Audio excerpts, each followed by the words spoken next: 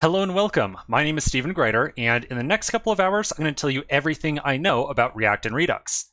Before we dive into any technical topic, I want to very quickly tell you how you can get help inside this course. So as we start to go through videos and write out code, if you have any questions or you need help troubleshooting, there's a couple of different ways that you can get some help.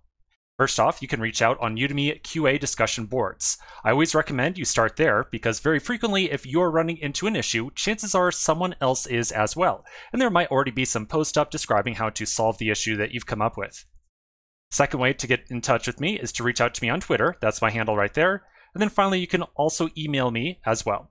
Now, just a quick note here I usually answer questions on all these different forms of media between Monday and Friday around 9 a.m. PST.